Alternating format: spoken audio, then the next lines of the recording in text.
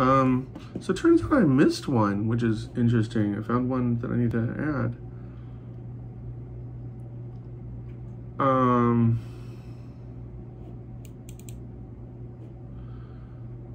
so shopping basket girl with shopping basket. What did I call this one? Shopping basket angel in the clouds.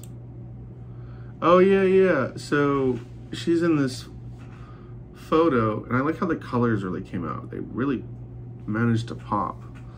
Um, uh, I like how the clouds behind her kind of look like an angel.